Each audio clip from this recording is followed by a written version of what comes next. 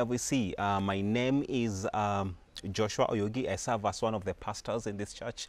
If you're, you know, watching us for the very first time, karibuni sana. We are glad that you're here.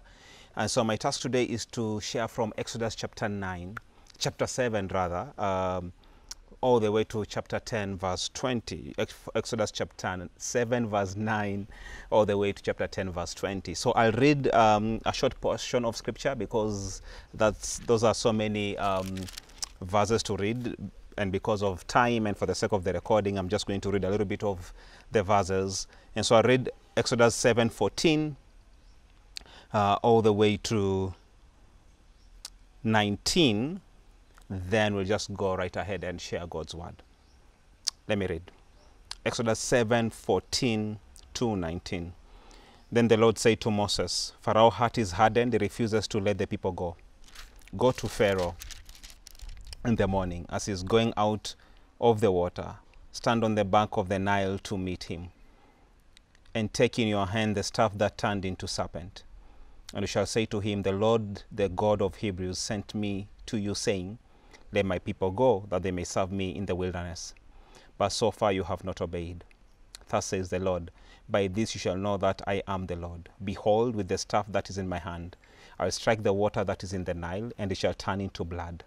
The fish in the Nile shall die, and the Nile will stink, and the Egyptians will grow weary of drinking water from the Nile. And the Lord said to Moses, Say to Aaron, your, say to Aaron, take your staff and stretch out your hand over the waters of Egypt, over their rivers, their canals, and their ponds, and all their pools of water, so that they may become blood. And there shall be blood throughout the land of Egypt, even in the vessels of wood, in the vessels of stone. God, we pray that even as we share your word um, this morning, we pray that, Lord, your word will teach us, correct us, rebuke us, and train us, so that, Lord, we can be thoroughly equipped uh, for your work. God, we pray that, Lord, you make us what we are not. Transform us into the image of your Son, Jesus Christ, through, uh, the, through the reading of your word and also through just listening into your word in this sermon. So, Father, we exalt you and we honor you for who you are. In Jesus' name we pray. Amen.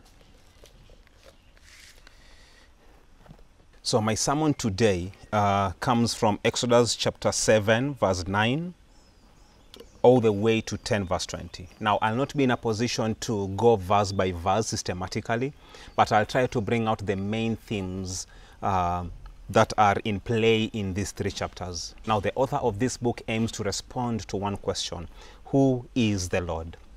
And my sermon, my sermon will be summarized in three uh, subheadings or topics. Now, God is sovereign over other gods, and when we talk about God in this case, is Yahweh. Then the second um, topic or title will be God is sovereign over Pharaoh or over kings. And then the third will be humankind is responsible or humans are responsible for their actions. So God brought the plagues to Egypt as judgment to them. Now, in this world of modern fiction, it is important for us to understand that this was literal. These plagues actually did happen. They were not just mere symbols. The plagues God brought against Egypt had a definite strategy and purpose each of them confronts and attacks a prized Egyptian god. And so in Exodus chapter 5, verse 20, um, Pharaoh asks this question Who is the Lord that I should obey his voice to let the Israelites go? And the Lord responds to this question with a series of, of plagues. Responds to Pharaoh with a series of plagues. So the plagues show that God is greater than any other gods, including the Egyptian gods. I'll briefly go through each of the plague and the god associated with it. Now, the first plague, God turns uh, Nile into blood, the river Nile into blood. The Nile was worshipped as a god by the Egyptians. Some people say that they even sang and wrote hymns uh, that were dedicated to the worship of River Nile. God shows his complete power over the Nile by actually turning the water into blood. The second plague, God says, I'll smite all the territories with frogs. Now, the Egyptian, to the Egyptians, God was, uh, frogs were kind of sacred. Okay, frogs were actually not supposed to be killed. But God gave them a plague of frogs. It's kind of God duplicated their gods and killed them. So God shows that He's sovereign over that particular God. And this god was called Heket. It was, it was a goddess called Heket.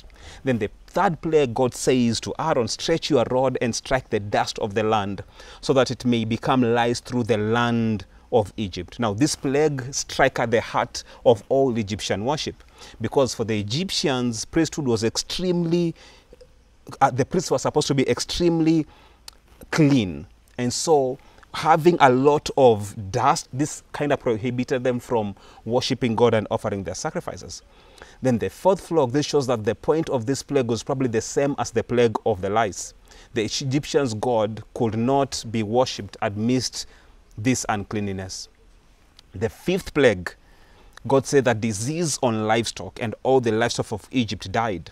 Now, in this plague, God struck an Egyptian god called Hathor who was thought to be a mother goddess in the form of a cow. So the Egyptian religion considered cattle as sacred.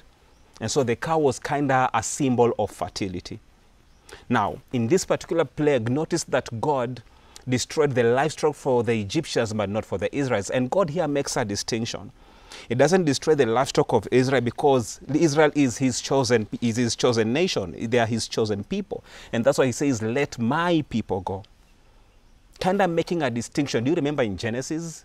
Um, I'll put an enmity between you and the woman, her offspring and your offspring. God is kind of making that distinction between his people and um, the other people, the people of the world. And today, church is one of those distinctions that God has actually created. We are chosen people, we are a royal priesthood. Okay, Peter states that very clearly. And so we are not of this world, even though we are in this world. We are set apart to be holy, vessels of honorable use, not of dishonorable use. So when God saves us, we become different. Our desires are changed. Our hopes are changed. The inclination of our hearts are, are gravi gravitate towards Him. And so, young people, don't be afraid to be different in school because of your identity in Christ. Because that's the sole reason why God created us. In Ephesians, He says that He created us to make us holy and blameless.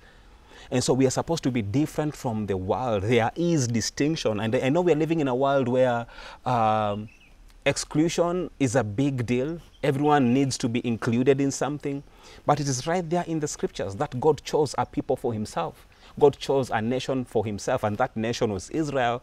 And God is bringing plagues with the desire or with the aim of actually rescuing his people.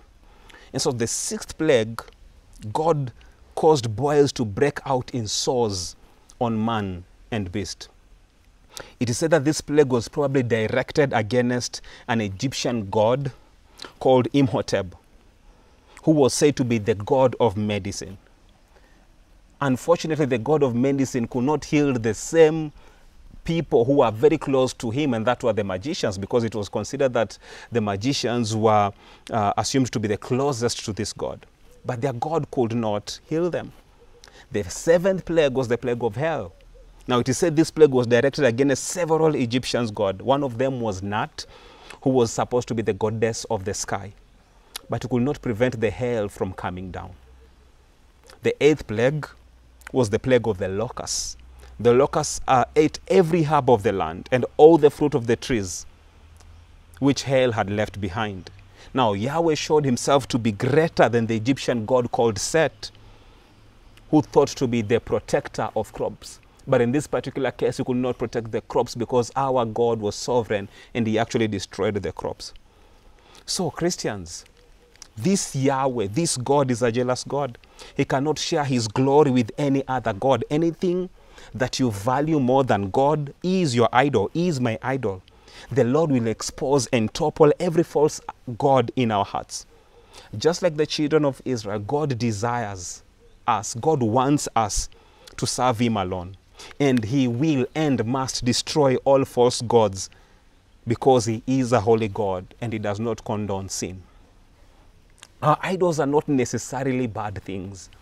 On the contrary, our idols are good things. These are things that God has graciously given us Unfortunately, our hearts bow down to worship the fleeting glory of these idols instead of bowing down to the omnipotent God in his perpetual glory. Now, sin plays havoc with our spiritual vision of who the Lord is and what he has done. God is not only bigger than gods, but is also bigger than the magicians. When you read Exodus 18 19, it says, The magicians tried by their secret arts to produce nuts, but they could not. Now, behind their secret arts is the power of Satan. Let's not be anxious when see the devil creating havoc in the lives of Christians. He has the power to tempt, yes, to deceive, to deceive and to accuse, but he cannot create or redeem. And the magicians actually realized that they could not uh, perform the miracle, they could not replicate what Aaron and Moses had done.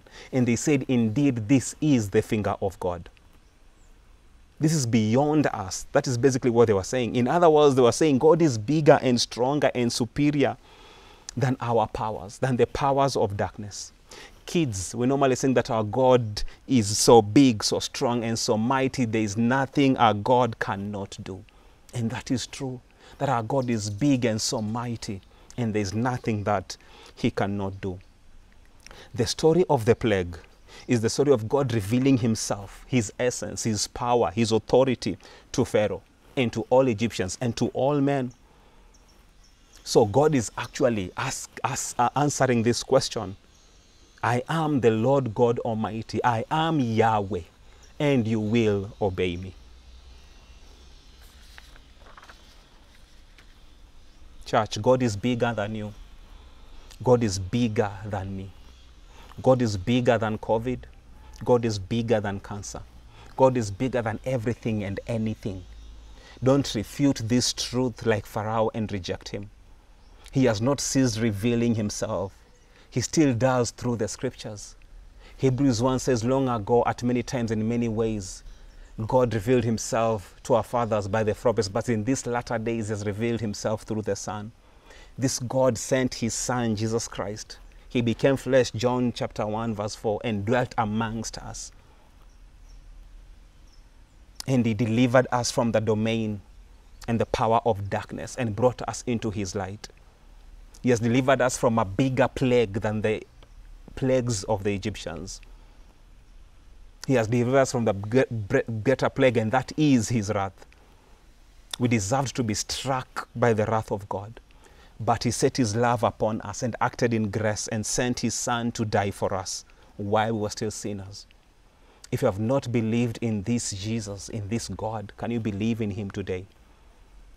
So we have seen that God is sovereign over gods. Yahweh is sovereign over gods and also supernatural, uh, or also evil, evil powers, evil supernatural powers. But God is also sovereign over kings. God is sovereign over Pharaoh. When you read a few chapters and verses carefully, you realize there's a repetition of the statement, as the Lord said. Exodus 7.13 says, Still Pharaoh's heart, Pharaoh's heart was hardened, and he would not listen to them as the Lord has said. Exodus 7.22 says, But the magicians of Egypt did the same by their secret arts, so Pharaoh's heart remained hardened and would not listen to them as the Lord had said. Exodus 8.15, But when Pharaoh saw that there was uh, a respite, he hardened his heart and would not listen to them as the Lord had said. Exodus 8.19, then the magicians said to Pharaoh, This is the finger of God. But Pharaoh's heart was hardened and would not listen to them as the Lord had said. Did you get it? There's a repetition as the Lord had said. What is the author trying to point out here? The repetitions of these words, the author is trying to put an emphasis that the hardening of Pharaoh's heart was caused by the Lord. The Pharaoh's heart, the hardening of Pharaoh's heart was decreed and ordained by God. Actually, the word hardening of Pharaoh's heart has been mentioned 18 times in the book of Exodus. And sometimes this truth that the sovereignty of God and how God hardens human's heart, sometimes this truth does not make sense to us. We see God as unfair. We see God as a mean God. But sometimes our understanding is limited by our fallenness even if we don't fully comprehend it. The Bible is clear, and so we can believe in it. We can embrace it, and we need to know this truth. Romans 9:18, Paul says God has mercy in whoever he will, he wants to have mercy, and he hardens whoever he wills. why did God not just wipe Pharaoh out the first time? If God can speak things into existence, He can surely just wipe him out as soon as He can. Why the 10 plagues? And Exodus 9 14 to 16 responds to that question. So that the Lord can actually display His power in him and through him, and His might and His name might be proclaimed. And so the hardening of, of Pharaoh's heart was for the glory of God. And so God thing, God does things according to the purpose of his own will. For his glory. And sometimes it may not be necessarily for our good in a human sense. But in God's view, even the sufferings that we go through, they're actually for our good, even though it may not seem like so at that particular moment. We might be wondering what is the good of this COVID 19? We might not know, but one day we will surely know. And so that was the purpose why God was hardening Pharaoh's heart. But for us and but for us and for the Israelites and any person who would fear him, why the 10 plagues? Is so that we can actually tell our kids these stories. And that is what the author says in chapter 10, verse 2 that I may show these signs of mine among them, and that you may tell in the hearing of your son and of your grandsons how I have dealt harshly with the Egyptians, and what signs I have done among them, that you may know that I am the Lord. Did you get it? That the reason why actually these plagues, God had to bring the 10 plagues, was not only for Pharaoh's sake, but for his sake, so that he can be glorified, and for our sake, so that we can tell this story, so that the children of Israel who who, who were there and experiencing and seeing what the Lord is doing so that they can actually tell their kids and their grandsons and their granddaughters of who the Lord is. Because again, the question God is seeking to respond is the question God is seeking to respond to who is the Lord? Believer, do you deliberately teach your kids and grandkids about God's word? Do you tell them of his wondrous works? Do you tell him who God is and what he's like? Do you tell him why we exist, why the church exists, how God became man so that he can take our place and die for our sins? Do you tell them of the things that the Lord has said in the scriptures? Can I challenge us today, families, parents, brothers, sisters? Can we pass this story? Can we pass God's story to the other generation so that they can know who the Lord is. God is sovereign over any suffering that we are going through right now. So you can trust in His plan because He has, he has orchestrated your suffering for His glory. Can you rest in the fact that all things come to us not by chance, but from, our, from His fatherly hands? Divine providence is always for us, never against us. It may not make sense to us right now. It may not make sense in this lifetime, but it will certainly make sense in the next. Sometimes it is hard to understand God's providence or sovereignty because we live in a man centered fallen world where God is required to serve men and not the vice versa. We need to realize and acknowledge that God creates and controls the world with his sovereign love and providential power, even in light of hardening Pharaoh's heart, even when it comes to hardening someone's heart so that he can be glorified. He is able to do that, and he actually did that, and he still does that. Now, when we look at God's sovereignty through the lens of our fallen nature and idolatrous, idolatrous hearts, we'll always think of God as a mean God. But when we look at his sovereignty through the lens of Scripture, we will see him as a loving Father who cares for us and loves us than that all things are happening together for our good, for our joy, and for His glory. So, God is sovereign over gods and supernatural, evil supernatural powers, or evil powers. God is sovereign over Pharaoh or kings.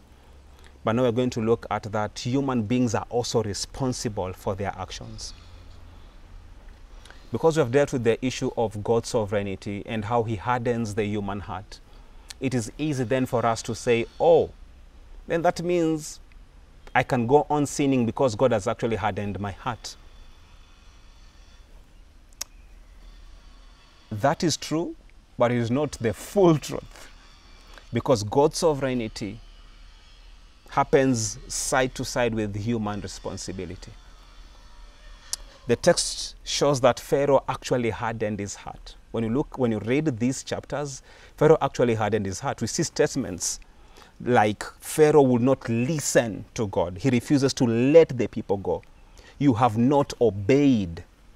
So God's sovereignty is not an excuse for us to act in disobedience. So despite all the evidence that he saw, he refused to believe in God. Even when his servants were in despair and tried to convince him and said, How long shall this man be as near to us?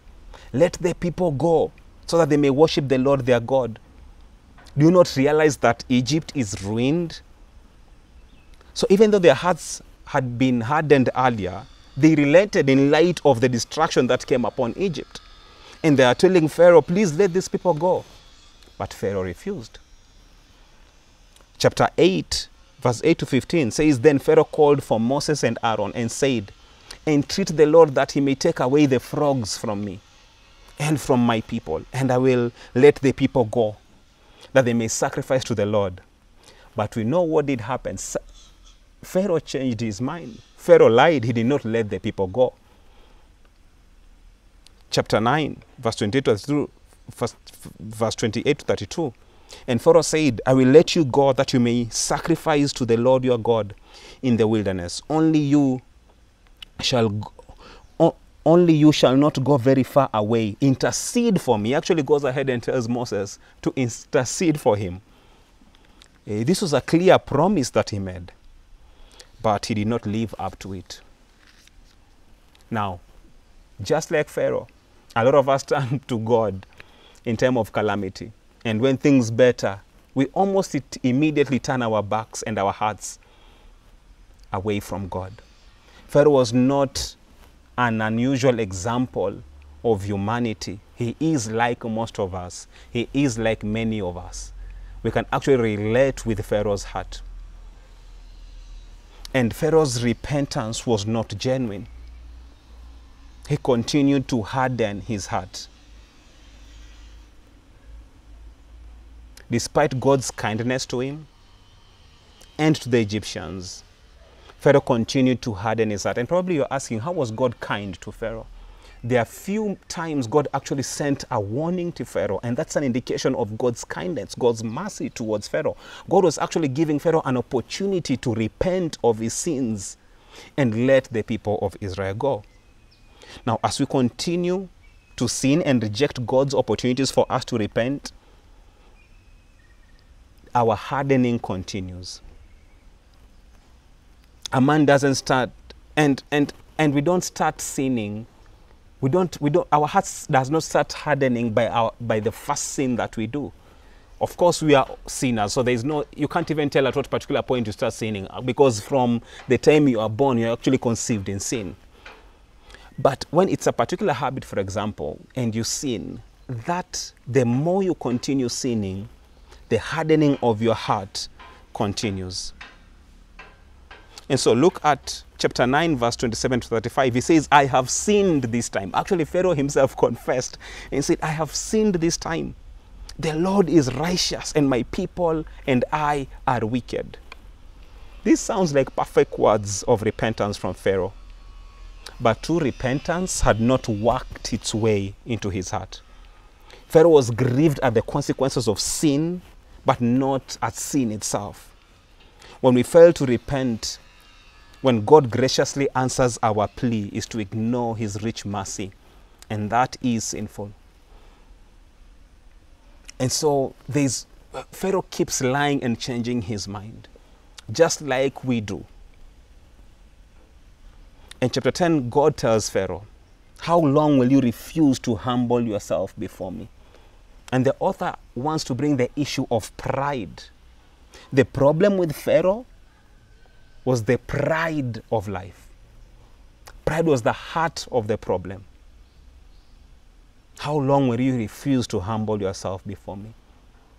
Is God asking us the same question today? Is God asking me the same question today? Is God asking you the same question today? How long will you refuse to humble yourself before me? The Bible says that God gives grace to the humble, but he opposes the proud. God does not lie. Brothers, sisters, be rest assured that if your heart is filled with pride, God will bring you down. God must bring us down. He will bring us down because He says He opposes the proud, but He gives grace to the humble. God acted in mercy towards Pharaoh by telling him what he will do, but Pharaoh did not listen. Sin numbs our conviction, it blinds us, it destroys us. Someone said sin will take you farther than you want to go, keep you longer than you want to stay, and cost you more than you want to pay. That's what sin did to Pharaoh. That's what sin does to us. That's what sin did to Judas.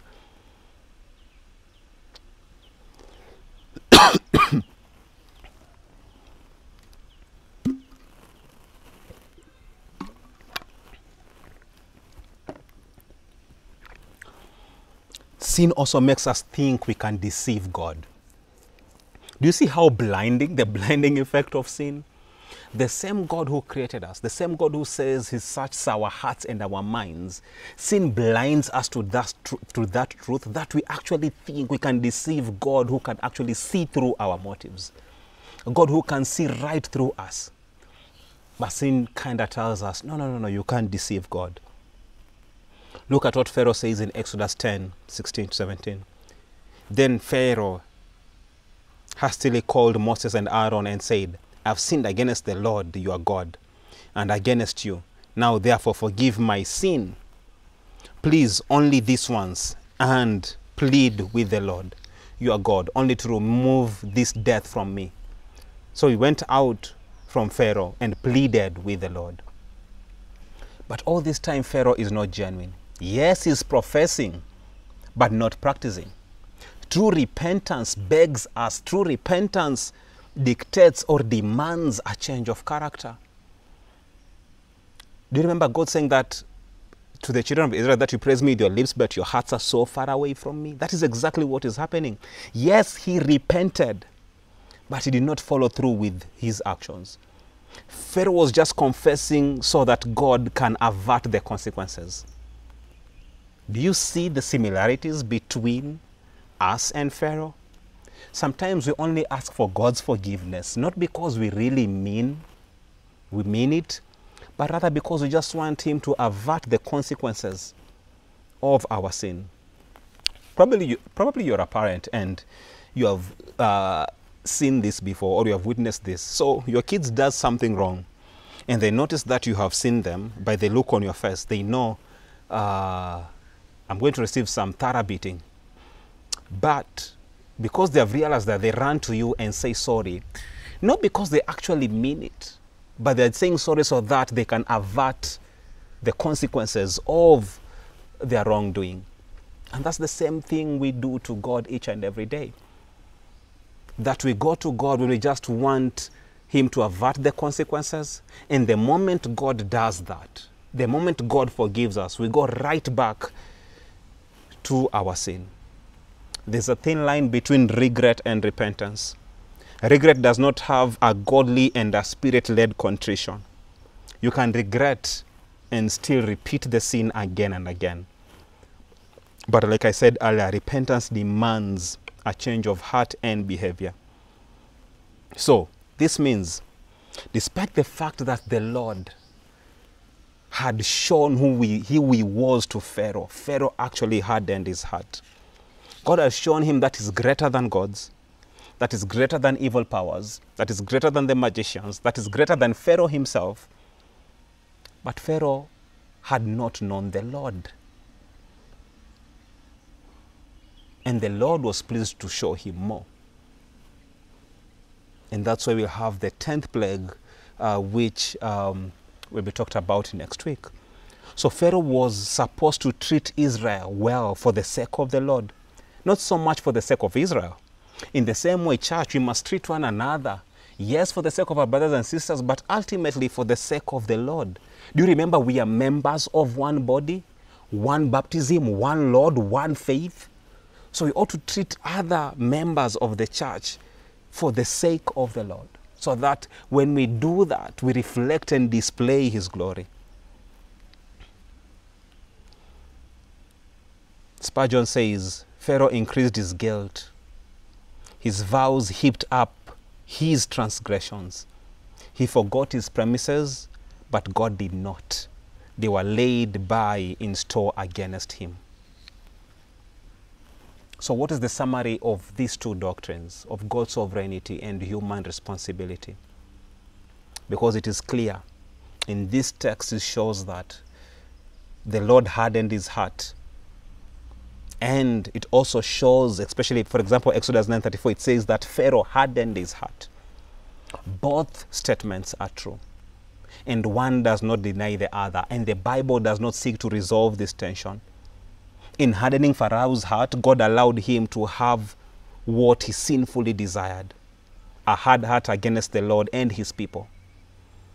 And this doctrine is difficult, but the scripture presents both the sovereignty of God and the responsibility of man. And so, friends, brothers, sisters, we must affirm this doctrine in our present finite condition and with our limited knowledge, it is impossible to reconcile these two truths, but we must affirm it and believe in it and receive both. Amen. Let's pray. God, we are grateful for your word. Thank you for your faithfulness and for who you are. We pray even as we continue to depend on you. Help us, Lord, not to harden our hearts to your voice, to your word. Help us, Lord, to reflect and display your glory in what we do, in what we say, in what we think. Thank you for the indwelling Holy Spirit who you sent to us so that he can be our helper. So, God, I pray, convict us of our sins and unrighteousness. And Lord, let us fix our eyes on Jesus, who is the author and perfecter of our faith. In Jesus' name we pray. Amen.